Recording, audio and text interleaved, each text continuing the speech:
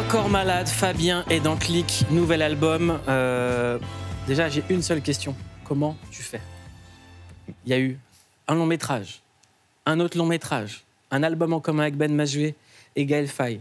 Et là, une tournée et un nouvel album qui est, je le dis vraiment, c'est mon album préféré de Grand Corps Malade. Il faut absolument aller l'écouter. Ça s'appelle Reflet et c'est classic shit. C'est mon album préféré, c'est le plus universel, le plus intemporel, le plus transgénérationnel, malgré les déceptions. Bravo, je tiens à te Merci dire. beaucoup. Non, bah, écoute, euh, voilà. je sais, euh, tu m'as envoyé un petit message à l'écoute de l'album, ça fait très plaisir, merci. Comment tu fais, en vrai? Les- Ça peut faire la passion, vraiment, en vrai, c'est que pas l'impression de travailler. On bosse beaucoup entre, oui, les albums, les films, les tournées, mais c'est génial, tu vois, les, les, les, les- les portes sont ouvertes, on nous permet de faire ce qu'on aime, euh, on y va à fond, quoi. Parce qu'il y a plein d'artistes qui parlent de surmenage, qui ont un rythme inférieur au tien, et toi, à chaque fois, il y a plus de Je projets. te dire aussi un secret. Ouais. Les artistes sont des feignants. Les artistes sont des feignants. Je- J'en connais, ils travaillent deux heures dans la journée, ils disent Waouh, là, on a bien bossé aujourd'hui. Les artistes n'ont pas l'habitude d'avoir des vraies journées. Le commun des mortels, ils bossent de 9h à 18h, tu vois. 9h, 18h, les artistes, ils savent pas faire ça. C'est quoi pour toi la notion du travail? Qu'est-ce que ça veut dire? Moi, c'est d'être. euh, je crois que c'est quand j'écris. C'est là où je me sens le plus euh, préparer la suite. Tu vois, quand j'écris des chansons, je me dis voilà, là, il y a un futur album et une future tournée qui arrive. Quand j'écris avec Mehdi, mon pote, un scénario, je dis là, voilà, on est en train de préparer la suite. C'est tout démarre de l'écriture en fait. Tu es rentré sur euh, une présentation avec le morceau de Redman et Method Man, et c'est Ben Mazué qui a choisi ce morceau. On l'écoute. Si Fabien devait être une chanson, il serait de Rock Wilder, de Method Man et Redman, parce que euh, ça commence par euh, de la pluie, c'est sombre, et plus la, la chanson avance, et plus c'est lumineux, comme lui. Et puis parce que c'est une époque et un style de musique euh, qui nous rapproche, parce qu'on a un peu le même âge et qu'on a un peu écouté les mêmes sons au même moment. J'ai pas compris ce qu'il a dit à la fin, mais ça avait l'air cool. Pareil, on réécoutera image par image. Ben Mazué, quel homme. Euh, il parle de cette époque-là, euh, la fin des années 90. Moi, je sais que tu es fan absolu d'un morceau de rap français. C'est Retour aux pyramides des X-Men. De tête, qu'est-ce que tu as de ce morceau Euh, en, en termes de lyrics Ouais. euh, euh, attends, laisse-moi juste trouver le début. Préparé au Big Comme Bang. Vasco de Gamma, je suis à la recherche d'espace vierge à infiltrer comme Donny Brasco dans la mafia. Donc je suis parano. Speed comme Martin Payne sous cocaïne. J'ai la haine jusqu'au jean. Calvin Klein, je représente mon clan. J'ai le feeling comme Marvin Gaye, trop de flûteurs. Je suis un king comme Martin Luther. Euh, pour plein de gens, c'est l'un des meilleurs couplets de l'histoire du rap français. Couplet de Hill, c'était extrait de la BO du film Ma cité va craquer. Et il y a eu plein de mystères autour de ce morceau. En fait, ils l'ont écrit en 10 minutes. C'est vrai? Ouais. Je savais pas. Est-ce que toi, il y a des textes comme ça qui sont arrivés très très vite? Euh, ma tête, mon cœur et mes couilles, qui était l'histoire d'un dialogue entre ma tête, mon cœur et mes couilles. Sur ma tête a dit mon cœur qu'elle s'en battait les couilles, mais mes couilles avaient mal au cœur. Ouais, je ne vais pas le refaire, mais celui-là, il s'est écrit assez vite. Sinon, non, 10 minutes, non, non. Mais après, il y en a qui s'écrivent en deux heures, ce qui n'est pas énorme, et puis d'autres qui s'écrivent en deux, trois jours. En tout cas, c'est jamais des semaines. C'est pas bon signe. Un morceau qui dure comme ça, c'est qu'il y a un truc qui va pas. On a eu la chance de parler avec Francis Cabrel d'écriture et d'inspiration et de travail. Et il y a plein de points communs entre Francis euh, Cabrel et toi. Vous avez d'ailleurs travaillé ensemble. J'aimerais qu'on écoute Francis Cabrel sur le travail et l'inspiration. C'est quoi l'inspiration? C'est une récompense? Alors l'inspiration, euh, je pense qu'il faut quand même un peu aller la, chercher. On est rarement, ou je l'étais peut-être à 20 ans, inspiré comme ça, la petite lumière qui vient, euh, qui, vous tombe dessus. Mais bon, ça, c'est, quand même de moins en moins souvent. Je pense qu'il faut s'arrêter, réfléchir. C'est comme une méditation, en fait. Et, là, la petite lumière apparaît, mais il faut quand même l'attendre et la et travailler un peu pour aller la chercher désormais. Est-ce que ça te parle? Ouais, ça me parle, bien sûr. Quand il dit c'est comme de la méditation, ça me fait penser. Moi, j'ai jamais le, le truc de la feuille blanche, de dire qu'est-ce que je vais écrire aujourd'hui, parce qu'en fait, je, je- je laisse mûrir. J'attends, j'attends que ça, ça, ça mûrisse dans un coin de ma tête, et, et du coup, quand je me mets à écrire, je sais où je vais. Tu vois, j'ai une direction, et du coup, ça peut aller euh, assez vite. C'est euh, le huitième album. Je le dis pour moi, c'est mon préféré. Euh, Il y a un morceau qui s'appelle Retiens les rêves, qui est un classique. Il y a des morceaux comme ça, vous les écoutez, vous savez que c'est un classique. Vous savez que vous pouvez le faire écouter à vos parents, à vos enfants, qu'ils feront écouter à leurs enfants, que c'est un morceau qui va rester. J'aimerais qu'on regarde. J'ai rêvé C'était une soirée d'été, on revenait de votre entraînement. J'ai regardé. Vos mines un peu fatiguées, vos yeux bleus inspirants, j'ai aimé. Dans la radio ça kickait, vos rappeurs du moment. Dans la voiture on chantait, comment serait-ce autrement? Le soleil voulait pas se coucher, profiter de notre instant. J'ai rêvé. Est-ce que c'était un rêve? Éveillé Je veux pas que la nuit s'achève. Ça, c'est clairement un morceau de mariage. Pardon? Ça fait partie des morceaux qu'on écoutera dans les mariages. J'espère, c'est un, C'est- beau- c'est un très beau compliment. Toute la génération qui a grandi sur du rap, maintenant qu'on a tous euh, passé euh, la vingtaine, Des fois, mais des fois même la des trentaine. fois même la trentaine, voire la quarantaine, euh, on est, c'est un morceau qu'on écoutera en fait, qui va nous marquer. J'espère, moi c'est un de mes petits préférés, bien sûr. Euh, je parle à mes enfants, je parle de mes enfants, je leur ai- j'explique à quel point ces petits moments très classiques, un petit moment du matin, le- l'odeur d'un grille-pain ou le soir quand on écoute du rap en revenant de leur entraînement de foot et de basket, bah, ces petits moments banals, bah, ils sont pas éternels. Du coup, on a envie de les retenir un peu, comme si c'était des rêves qu'on veut retenir. Bah ouais, moi j'aime beaucoup ce morceau. Moi, pour moi, il restera, en tout cas pour moi. Tant mieux si tu as l'impression que ce sera un classique pour les autres, ça me fait hyper plaisir. Ça l'est déjà. Et dans, dans ce morceau, il y a cette phrase Je crois qu'on était des enfants tant qu'on n'en avait pas. Ouais, ouais, tu te, te rends compte, euh, une fois que tu as des enfants, que tu vis plus que pour toi. Jusque-là, même si tu as l'impression de ne pas être égoïste, en vrai, tu es égoïste, tu vis que pour toi, tu tu t'en fous, oui, tu as, tes parents, tes potes tout ça, ta meuf, mais, euh, mais c'est quand tu as des enfants que tu dis, ouais, là, ça y est, là, je suis plus la priorité, et, et, euh, dans l'emploi du temps, il y a un truc avant tout, c'est les enfants. Ils l'ont écouté le morceau? Ouais. Alors? Ouais, ils ont kiffé, ça m'a fait plaisir. Ils ont pleuré ou? Non. Ouais, il y en a un qui était... Il, a, il a euh, pleuré. Je le balance pas, lequel des deux? Ouais, je sais c'est lequel. Ouais, ouais, il y a eu des petites larmes, ce qui est rare. Du coup, j'étais hyper ému et, et très content qu'il valide le morceau. Quoi. Et madame? Ouais, elle a kiffé aussi. Parce qu'il y a aussi un morceau qui lui est consacré. Ouais, Vous parlez de votre première rencontre à Deauville. à Deauville. Ouais, en fait, il y a deux morceaux pour elle dans l'album. Il y a Mm. Je serai là, qui est la vraie chanson d'amour, euh, voilà, sur un tempo très lent, sur une balade avec des, des- une très belle mélodie. Et après, il y a Deauville. Et là, c'est ma première chanson d'amour funky. C'est-à-dire que c'est même un rythme très électro. C'est une chanson, je pense que quand on va la faire sur scène, j'espère que tout le public va danser. Et pourtant, c'est une chanson d'amour où on raconte. euh, je raconte euh, notre virée à Deauville, puisqu'elle m'a demandé de l'emmener à Deauville. Je sais pas pourquoi, c'était un délire comme ça, Pour l'embrasser. pour À l'embrasser. minuit. Ça faisait euh, quelques mois que je galérais euh, pour arracher un baiser, et bah, du coup, je l'ai eu à Deauville. Est-ce que tu savais que c'était elle? Ouais, je l'ai senti, ouais. Tu fais partie de ces gens? Ouais, franchement, ouais, c'est la seule fois où ça m'a fait ça. Pour ça que j'ai galéré, j'ai attendu, ça, je, sentais, je, le sentais bien. Euh, chaque soir, on demande à nos invités une image qui a marqué leur enfance. C'est la Madeleine de Clic.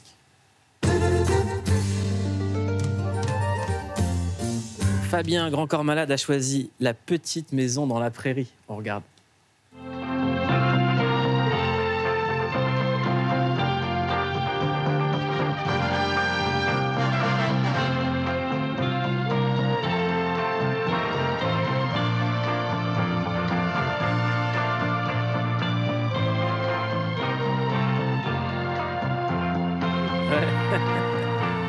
Mélissa Gilbert.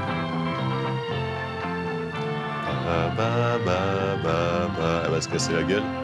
Ah, bah oui, La Ben, pauvre. Carrie. Écoute, moi, j'ai- j'ai- j'habitais Saint-Denis, tu vois, dans un milieu quelque peu urbain. Et ça, c'était tout ce que je connaissais pas. C'était, euh, je sais pas, j'avais, mais j'étais pas, j'avais pas 5 ans. hein. Franchement, je l'ai regardé peut-être jusqu'à 13, 14 ans. hein. Attention, c'est flippant presque. Mais voilà, regarde ça, Walnut Grove, le village de Walnut Grove, à trois, à trois jours à cheval de Mankato. Moi, j'ai l'impression qu'ils passaient leur temps à faire des corvées. Ah ouais, elle vit pas facile. hein. Ah, le père, il a galéré. Et puis euh, voilà, dès qu'il avait enfin euh, labouré son champ, il y avait un incendie qui ravageait tout. ça. Non, vie dure, mais en même temps, je sais pas, j'étais fasciné euh, par le côté. euh, bah voilà, tu vis, euh, tu vis dans une forêt, dans une prairie. C'était tout ce que je connaissais pas. Et voilà, j'ai- j'aimais cette famille. J'avais envie que que Charlingal ce soit mon oncle, euh, que les filles ce soit mes russes. Euh, Ça, ça c'était, ça c'est le docteur Baker. Le pauvre, on le payait avec des poules, des œufs. C'était une galère pour lui. Ils étaient tous en galère en vrai. Tous en galère. Il n'y en avait pas un qui était tranquille, je te jure. Dans l'album, il y a ce morceau magnifique qui s'appelle 2083. Euh, c'est une correspondance. Il y a plein de- morceaux qu'on aime en correspondance. Il y a Lunatic avec la lettre. La lettre. Il y a eu Al et Fab avec correspondance, Mhm. euh, l'histoire d'un provincial à Dijon. Et là, c'est un thème euh, encore plus touchant. C'est Grand Corps Malade qui parle à son petit-fils. J'aimerais qu'on écoute. Bien, tu ne me connais pas encore, je suis ton petit-fils. Je t'écris depuis l'année 2083. Je te passe ce message afin que ton époque réagisse. Ici, la planète va mal, il faut absolument que tu me crois. Jakarta, Lagos, New York ont disparu sous la mer, mais aussi Venise, Londres et un tiers des Pays-Bas. Tombouctou et le Nord Mali ensevelis sous le désert, et le fleuve Niger n'a plus une seule goutte d'eau dans ses bras. Qu'est-ce que tu lui réponds à ton petit-fils qui vient de t'écrire ça? Je lui réponds que, bah, que je lis sa lettre avec effroi, mais que malheureusement, je suis pas très surpris. Parce qu'en 2023, en vrai, on sait à peu près que c'est ce qui nous attend si on réagit pas. Et je lui réponds que je comprends pas ce que font les grands de ce monde, et je le pense vraiment. Euh, voilà, je pense que pour. euh, on a beau rouler en hybride et faire du tri sélectif dans nos petits appartes, ça ne changera pas les choses. Et, euh, et du coup, tant qu'on n'aura pas des lois, mais des lois euh, internationales qui nous contraignent dans nos modes de vie, on n'avancera pas. Tu avais voilà. conscience de ça avant d'être parent? Non, non, déjà parce que je suis parent depuis 13 ans. Donc il y a 13 ans, non seulement j'avais pas d'enfant, donc certainement je m'intéressais un peu moins euh, à notre futur, mais surtout en 13 ans, il s'est passé beaucoup de choses. On a appris beaucoup de choses. Il y a, il y a 15 ans, euh, on connaissait l'écologie, euh, mais c'était beaucoup moins répandu, beaucoup moins. Enfin, tu vois, c'était beaucoup moins incarné. Aujourd'hui, on sait que c'est notre avenir, tu vois. Donc. euh, donc ouais, j'avoue que j'ai du mal à comprendre. Bien sûr, on imagine la puissance des lobbies, que c'est dur d'avoir des lois à une échelle planétaire, etc. Et qu'il y a une énorme différence entre les pays pauvres qui dit attends nous on n'a rien consommé, mais vous, vous- voilà, on sait que on imagine bien qu'il y a quelques tensions, mais quand même, on sait que notre avenir il est là, on va dans un mur. Et c'est assez hallucinant d'imaginer que bah, qu'il n'y a rien qui change. Comment tu fais pour transmettre de l'optimiste à tes enfants? Écoute, sur ce thème-là, j'ai du mal. Donc on n'en parle pas trop. Et évidemment, quand on en parle, on montre toutes les bonnes choses qu'il y a à faire. Et, en effet, il y a les nouvelles générations, nous, on a appris petit à petit sur le tard, peut-être que, l'enjeu, il était là. Mais les nouvelles générations, ils grandissent là-dedans. Donc j'espère que eux, euh, quand ils vont arriver au poste à responsabilité, au pouvoir, ils vont faire bouger les choses. Donc oui, il y en a quand même de l'optimisme, il y en a. Donc on essaye de- d'en diffuser un petit peu. C'est un album avec beaucoup de sévérité, Reflet. Euh, la personne envers laquelle tu es le plus sévère, c'est toi. Euh, avec ce morceau, Auto-Reflet, on écoute. J'ai 20 ans dans ma tête, 120 ans dans mon corps. Mais les deux, heureusement, se mettent souvent d'accord pour ouvrir les yeux, les oreilles et les mains, trouver un rythme commun et tracer mon chemin. Je garde mes yeux d'enfant face à tout ce qui m'arrive. Et pour garder cette chance, je m'applique et m'active. Un privilège énorme sans que la lumière déforme. Je sens dans chaque hormone, j'ai un métier hors norme. Mais même au zénith, je ferai pas le fanfaron. Tu l'as compris, mon vrai premier métier, c'est daron. Mes deux fils et ma femme, c'est ma première passion. Les voir rire à mes vannes, c'est la plus belle ovation. Je vois un père de famille, je vois un homme amoureux. Je finis par l'essentiel en auteur rigoureux. J'ai grandi en banlieue, je l'ai chanté à cappella. Et cet auto-reflet va vraiment s'arrêter là. Dans ce morceau, tu dis aussi Mon côté clair et mo- mon côté sombre n'ont pas divorcé. On voit le côté clair de Grand Corps Malade, le daron, le gendre idéal, euh, le gars qui sourit quand on lui pose une question. C'est quoi le côté sombre? Eh, le côté sombre, je me bats avec en cachette. J'essaye de, de, de le faire taire. Mais évidemment que on a tous nos contradictions internes et nos, et nos démons internes et, et nos pessimismes internes. Et moi, euh, voilà, je, je, le, je le dégage pas trop celui-là, mais heureusement, heureusement qu'il est là, qu'il m'interroge sur moi-même, qu'il m'interroge sur le monde et que, et que je suis pas juste souriant à dire que tout va bien. Quoi. Tu dis de ma vie en banlieue, j'ai gardé une certaine éthique. C'est quoi cette éthique? Ah, tu sais. On le sait très bien. Ah, L'éthique, c'est une certaine vision du monde, une certaine euh, envie d'être ensemble, une certaine solidarité, je pense, vraiment. Et puis une certaine euh, idée de, de la vanne, une certaine rébellion, même si elle ne se voit pas. Il y a un truc en nous qui fait qu'on prend un peu de recul et qu'on ne dit pas oui à tout ce qu'on nous propose. Voilà, et quand tu as fait. euh, Moi, j'ai vécu euh, 35 ans en banlieue, de 0 à 35 ans. Ben, banlieue un jour, banlieue toujours. Et je dis un peu plus tard dans ce morceau, je préfère les écorchés, les rebelles, les bizarres. Je peux vivre sans ma banlieue, mais pas sans mes banlieusards.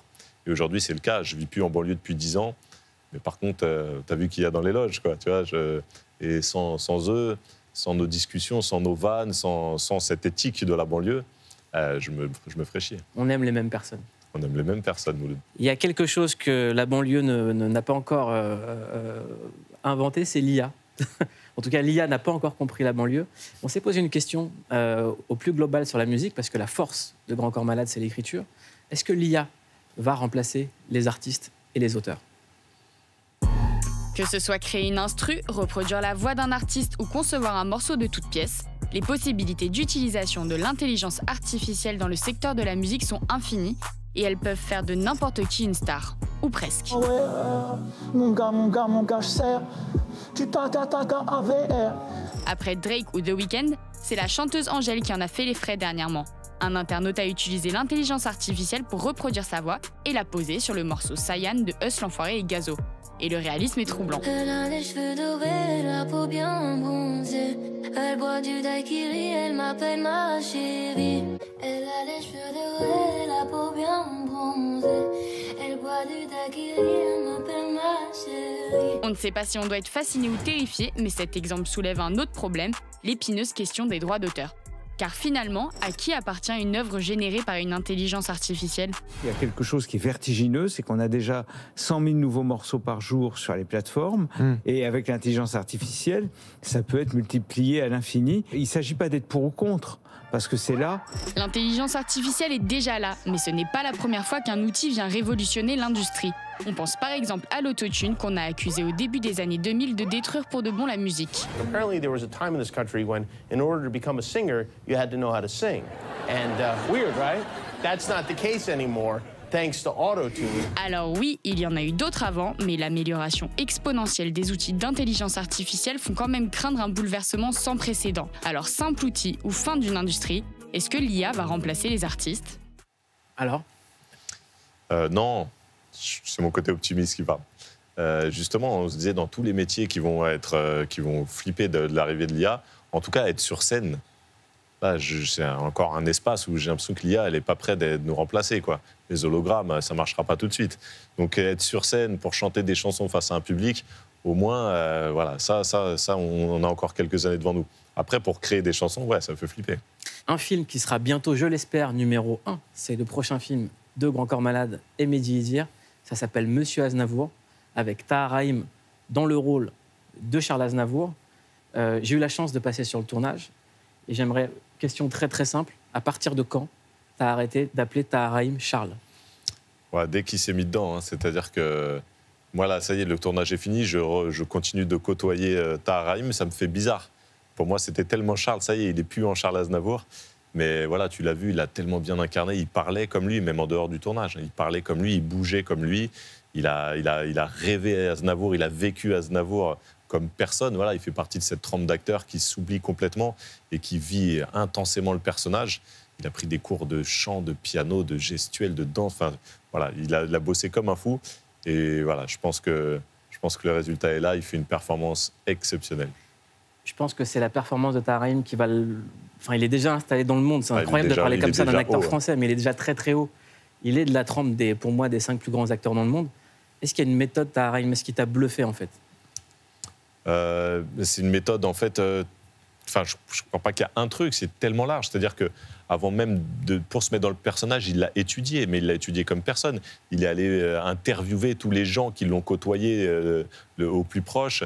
Il a, lu tous ses bouquins. Il a, étudié chaque vidéo. Il, a, bouffé du Aznavour, mais pendant des centaines d'heures, je pense. Il laisse rien au hasard. Et après, ça ne suffit pas. Le travail ne suffit pas. Tahar, c'est un génie. Après, le, le fait de choper une mimique, de choper l'élocution, de savoir comment il bougeait ses bras sur les moindres petits détails, là, après, il y a du génie. Est-ce qu'il y a eu des moments troublants où euh, des rencontres entre le Aznavour joué par Tahar Rahim et la famille? Ouais, bien sûr, il y a- on a la chance euh, d'être proche de la famille d'Aznavour. Les, les enfants sont venus sur le tournage et, euh, et voilà, ils étaient avec, avec nous. Souvent, Katia, euh, la, la fille de Charles Aznavour, était très souvent à côté de nous. Et il y a des moments vraiment où elle nous disait vraiment, alors que bon, elle connaît un peu son, elle a connu un peu son père de très très près. Et là, elle nous dit non, mais là c'est dingue, là c'est dingue. euh, Il parle comme lui. Là, j'ai l'impression que c'est lui là sur ce profil. Voilà, quand, quand, quand la propre fille de Charles Aznavour te dit ça. Là, ça, ça fait du bien. En tant que réalisateur, tu dis, bon, là, on n'est pas en train de passer à côté, quoi.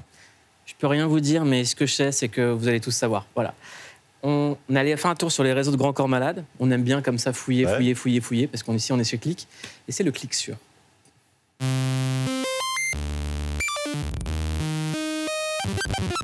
A cliqué sur vous, Corps Malade. Et sur tous vos réseaux, on était en embuscade. On a sondé votre âme sur Facebook et Instagram. Nous avons enquêté pour dévoiler vos plus sombres secrets. Voilà, c'était ma tentative de slam, euh, fin de carrière. Salut artiste. Grand corps malade, vous êtes un artiste complet qui manie les mots à la perfection, à la différence euh, de moi. C'est du live et du direct, y a pas de deux soirs identiques, sans playback et en public, même le track est authentique. Un talent d'écriture que vous mettez à profit de plein de projets, Là pour vous présenter mon premier livre jeunesse. mais aussi des films, et bien sûr de la musique. Bon alors plus étonnant, euh, la RATP vous a engagé pour détendre les usagers à bout. On continue de vouloir filmer tous ces moments insensés qui ne reviennent plus jamais. Quand on clique sur vous, on se rend compte que votre talent est reconnu par des monuments de la chanson française, qui font appel euh, à vos talents d'écriture et vous rémunèrent à base euh, d'omelettes. On est allé chez lui, dans son petit village, chez Cabrel, dans ses studios. Entre deux prises, il nous faisait des, il nous faisait des omelettes aux pommes de terre, tu vois. Mais aussi par des amis proches, avec qui vous avez une belle relation. Euh, j'ai eu mon accident en 97 et j'ai découvert vraiment le slam. Et en- Oui, je suis vieux, euh, Louane. Sur vos réseaux, vous faites votre promo. Et au début, on va pas se mentir, c'était laborieux. La vie de ma mère, on n'est pas assez euh, chaud sur les réseaux avec euh, la vente là, du coffret. Puis après, vous avez pris du level, en mode euh, démonstrateur du téléshopping, avec des produits dérivés et des tours de magie incroyables. Hop Il a disparu, il n'est plus là. De magie, nos cœurs, vous avez rempli. Cliquez sur vous, c'est comme slammer. On n'a pas pu s'en empêcher. Ça va mieux que les réseaux sociaux. Je progresse, je progresse, tu vois, c'est... C'est pas de ma génération première, mais oui, j'aime ça même. Non seulement je progresse, mais j'aime bien ça. Fabien, on va jouer Instagram. ensemble. Suivez-nous sur Instagram. Suivez Suivez-moi, Fabien encore sur. Instagram, sur, Sur TikTok, Instagram, vous êtes sur fort, Facebook. vous cliquez sur Instagram. Sur OnlyFans aussi, il est sur Only- il est partout. OnlyFans, bien. Euh, sept jeux, sept questions. On ferme les yeux. C'est l'interview à la carte et on choisit un jeu de questions. Allez. Celle-là. Allez. La haine. La haine. Ah, c'est toi. Ouais. On va faire une interview. La haine, grand corps malade. Quelle est la critique ou le commentaire haineux qui t'a le plus blessé? Je te jure que j'en ai pas.